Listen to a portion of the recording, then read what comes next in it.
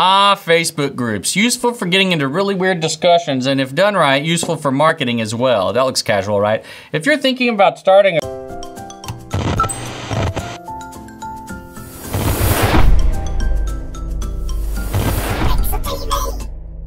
Welcome Pixel TV fans and Hootsuite users.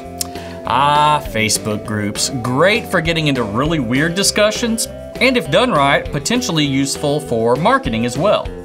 Now, if you're thinking about starting a Facebook group for marketing purposes, you may not know you can actually use Hootsuite to schedule updates there. Let's take a look at how.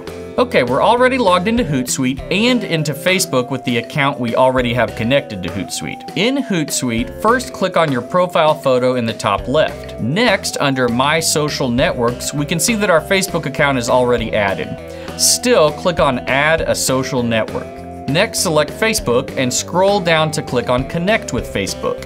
Of course, we know we're already connected to Facebook, but this is what you have to do in order to add a group. Enter your Facebook password in if it asks you for it. Next, you'll have a list of all the Facebook groups you're in. Pick the group or groups you want to post to, then click Finished Importing, and you're all set up.